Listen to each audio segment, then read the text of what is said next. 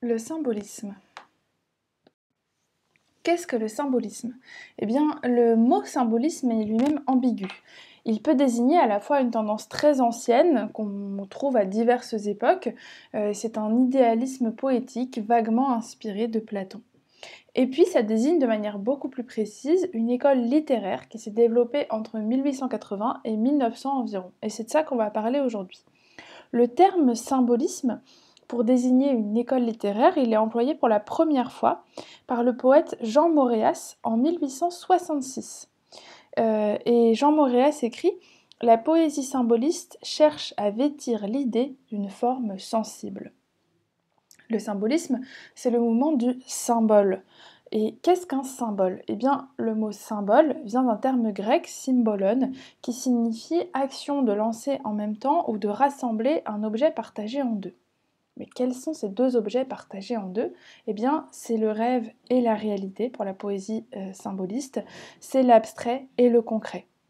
Donc le sens dérivé du terme symbolisme, ça désigne l'attitude qui consiste à assurer une transposition de l'abstrait au concret, ou du concret à l'abstrait, du rêve à la réalité, ou de la réalité au rêve. Appliqué à l'art, à la poésie, le mot recouvre donc l'idée de mystère, la réalité du monde serait cachée et il reviendrait à l'artiste de la révéler via le, langage secret qu'est l'art qui mettrait au jour les sens cachés. D'où donc une poésie chargée par des voix indirectes de révéler l'au-delà des apparences, et une poésie donc du mystère, de l'obscurité, du bizarre. En tant qu'école, le symbolisme s'oppose au Parnasse, mais aussi au réalisme, au naturalisme et au positivisme. Hein. tous ces mouvements de la fin du XIXe siècle qui prétendent décrire le réel tel qu'il est. Là, euh, l'idée, c'est euh, de décrire le rêve qui se cache sous la réalité et de révéler l'essence profonde, cachée des choses, puisque le réel ne se donne pas tel qu'il est, selon les symbolistes. Alors, le symbolisme n'émerge pas euh, comme euh, un champignon euh, atomique, il a des précurseurs et l'avènement de ce mouvement est préparé tout au long du XIXe siècle par d'autres poètes, notamment des poètes romantiques, au premier rang desquels le très grand Victor Hugo. Pour Victor Hugo, en effet, la poésie a une vocation magique, celle de dévoiler le monde idéal sous le monde réel. Et le poète est un prophète qui révèle aux foules le sens des choses qu'elle voit sans les comprendre. Chez Nerval également, on trouve des premières prémices du euh, symbolisme. Nerval essaye à travers la littérature d'explorer les zones troubles du rêve. Dans Aurélia, il écrit Le rêve est une autre vie. Chez Baudelaire aussi, euh, les, s'annonce le symbolisme de la fin du siècle. On trouve chez Baudelaire le mécanisme des analogies, les correspondances entre les idées et les sensations, et l'idée donc de débusquer le sens de ce qu'il appelle des forêts de symboles l'image va être reprise par les symbolistes qui se réclament de Baudelaire. Dans Correspondance, Baudelaire écrivait déjà en effet La nature est un temple où de vivants piliers laissent parfois sortir de confuses paroles. L'homme y passe à travers des forêts de symboles qu'il observe avec des regards familiers. Au poète donc de révéler le sens de ces symboles que le vulgaire n'est pas capable de pénétrer. Et puis, autre influence déterminante pour les symbolistes, celle de la décadence. Euh, après la débâcle de la défaite de 1870 au XIXe siècle contre la Prusse, et euh, celle de la Commune qui a fait trembler Paris, il y a un climat général de désillusion et de pessimisme en France. Et de jeunes poètes turbulents et nihilistes, qui s'appellent les décadents, font régner la dérision généralisée. Et ils influencent beaucoup les poètes euh, symbolistes qui, eux, vont aller au-delà de la dérision pour révéler le sens réel euh, des choses. Alors, qui sont les poètes symbolistes? Eh bien, euh, ils publient beaucoup dans des revues qui accueillent leur production en France et en Belgique, où le mouvement est très actif. les grands créateurs du mouvement se situe plutôt en marge de ces revues et en marge de cette école symboliste. Hein. Ils ne se réclament pas comme des chefs de file, bien que euh, leurs disciples les désignent comme des, maîtres ou comme des princes des poètes. Au premier rang de ces princes des poètes, élus par euh, les poètes surréalistes, c'est Verlaine, qui est proche aussi des décadents et qui cherche la musique euh, dans sa poésie avant même peut-être le sens. Autre grand poète voyant, Rimbaud, qui fréquente les milieux symbolistes avec assiduité lorsqu'il vient à Paris et qui essaye de découvrir de nouveaux horizons poétiques loin du réel, en disant dans sa célèbre Lettre du voyant, le poète se fait voyant par un long, immense et raisonné dérèglement de tous les sens. Alors ça, ça plaît beaucoup évidemment aux poètes symbolistes qui se euh, veulent prophètes voyants et euh, qui cherche euh, le dérèglement des sens, comme Rimbaud. Et puis, le grand chef de file de l'école symboliste, quoiqu'il se refuse à toute école, c'est Mallarmé. Il ne se revendique donc pas comme tel, mais c'est dans son salon de la rue de Rome, à Paris, à côté de la gare Saint-Lazare, que se réunissent tous les mardis les principaux artistes symbolistes. Hein. Mallarmé et sa femme font de petites réceptions tous les mardis, où se rassemblent les grands poètes symbolistes. Alors pour Mallarmé, la poésie ne doit pas dire, mais elle doit suggérer l'essence des choses. Et euh, ce petit texte, ce petit extrait euh, de chez Mallarmé que je vais vous lire est très proche des revendications symbolistes. C'est le parfait usage de ce mystère qui constitue le symbole, évoquer petit à petit un objet pour montrer un état d'âme, ou inversement, ou inversement choisir un objet et en dégager un état d'âme par une série de déchiffrements. Il faut donc déchiffrer le réel lorsque l'on est poète, car on a la clé de l'énigme du réel euh, et on peut la livrer aux initiés. Donc les grands poètes symbolistes, les grands poètes qu'on retient quand on parle de symbolistes, ce sont Verlaine, Rimbaud et Mallarmé. Mais en réalité, euh, les euh, vrais représentants du symbolisme sont souvent oubliés aujourd'hui. Il s'agit de Gustave Kahn, Henri de Régnier, Émile Verhaeren, Maurice Metterlink ou encore le jeune André Gide. Et puis Jean Moréas, hein, qui fait apparaître pour la première fois le mot symbolisme en tant qu'école. Je vais vous lire un poème de Moréas oublié qui s'appelle Sensualité, très influencé par l'invitation au voyage de Baudelaire, où on retrouve l'esthétique symboliste de manière euh, très euh, prégnante. Sensualité par Jean Moréas. N'écoute plus l'archet plaintif qui se lamente comme un ramier mourant le long des boulingrins. Ne tente plus l'essor des rêves pérégrins, traînant des ailes d'or dans l'argile infamante. Viens par ici, Voici les féeriques décors, du sèvre les mets exquis dont tu te sèvres, les coupes de Samos pour y tremper tes lèvres, et les divans profonds pour reposer ton corps. Viens par ici. Voici l'ardente érubescence des cheveux roux piqués de fleurs et de béryl, les étangs des yeux pères et les roses avril, des croupes et les lys des seins frottés d'essence. Viens humer le fumet et mordre à pleines dents à la banalité suave de la vie, et dormir le sommeil de la bête assouvie, dédaigneux des splendeurs, des songes transcendants.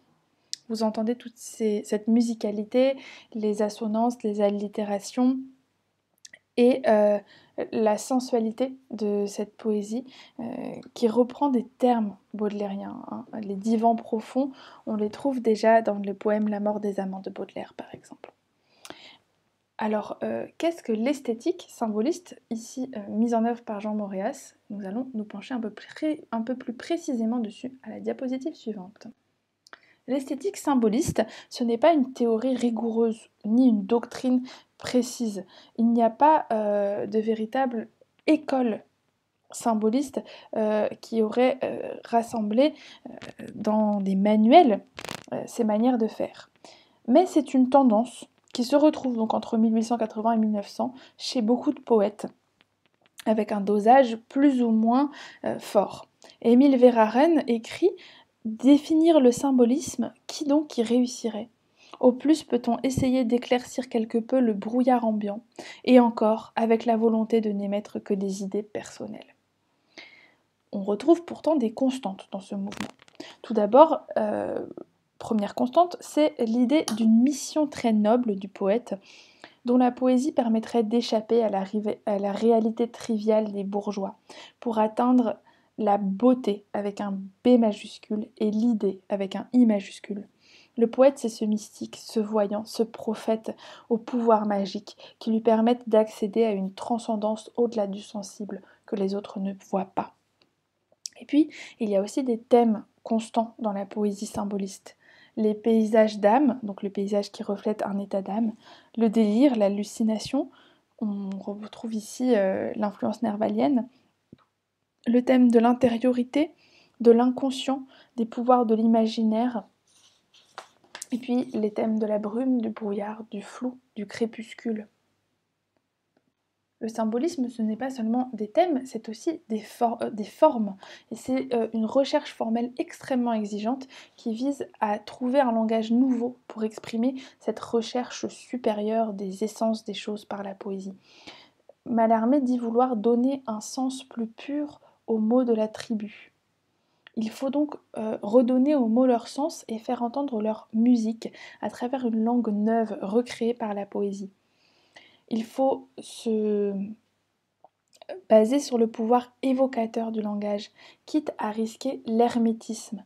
Mallarmé rapproche le poème des hiéroglyphes inviolés des rouleaux de papyrus.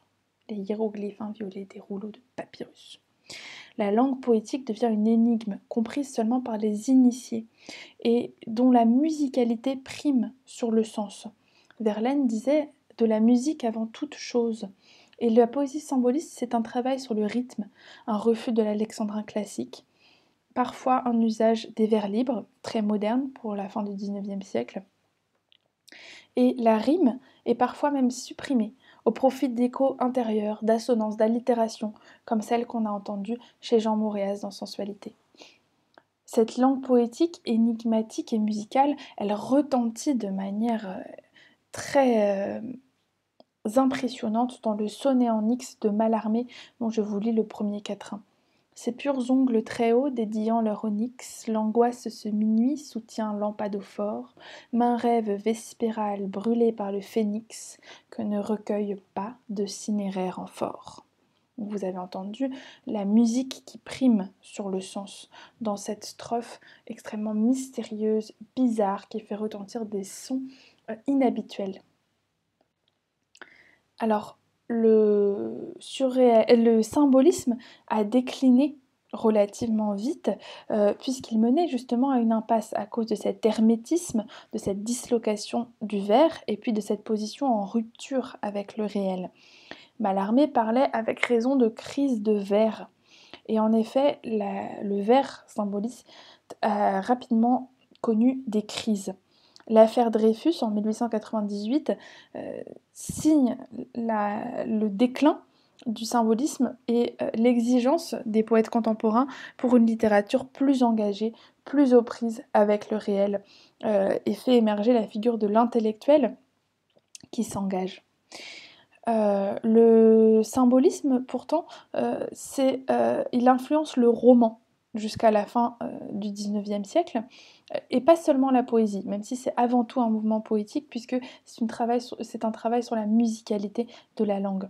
Il influence le roman chez Barbet d'Aurevilly, chez Villiers-L'Isle-Adam, chez Laforgue, chez Huysmans aussi, fasciné par Gustave Moreau, un peintre symboliste, puisque le symbolisme, il est extrêmement présent dans la peinture du XIXe siècle.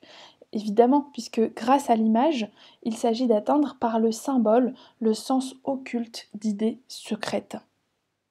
On trouve cela chez les peintres Puvis de Chavannes, Félicien Rops, Odilon Redon, Gustave Moreau, pour ne citer que les plus célèbres, que vous pourrez retrouver au musée d'Orsay si jamais les musées rouvrent. Et euh, c'est une excellente manière d'approcher la poésie symboliste que d'aller admirer ces toiles mystérieuses dont je vous ai mis quelques exemples dans ce diaporama. Le symbolisme, il est également présent au théâtre, euh, avec le drame symboliste, qui voit naître l'élaboration d'un théâtre poétique, ouvert sur le mystère, sur le rêve, influencé par l'opéra de Wagner et par le théâtre scandinave. Comme la poésie symboliste, le théâtre symboliste a une inspiration idéaliste, voire mystique. Il a le souci d'une langue complexe et poétique. Et euh, il met euh, en scène des atmosphères oniriques, voire surnaturelles. On le trouve dans Axel de Villiers-Adam euh, en 1872, dans Péléas et Mélisande de Metterlink en 1892 et qui est mis en musique par Debussy, et puis dans les premières pièces de Paul Claudel. Le symbolisme, comme je vous l'ai dit, va décliner à partir de 1900, mais pourtant, il va continuer d'influencer les mouvements de la première moitié du XXe siècle de manière très massive. D'abord avec ce qu'on appelle le néo-symbolisme, qu'on trouve chez Apollinaire, chez Valérie, chez Claudel, chez Gide, chez Gide vous vous souvenez, hein, Gide entre autres, euh, Claudel aussi, Valérie fréquentent les mardis de Mallarmé.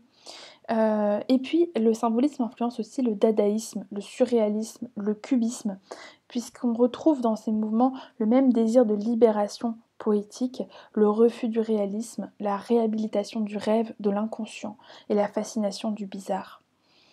Allez écouter le, PowerPoint sur Mallarmé, le grand chef de file de l'école réaliste, et puis bien sûr celui sur le surréalisme qui vous parlera d'autant plus après avoir euh, étudié euh, ensemble ici le symbolisme. Je vous souhaite une très bonne journée.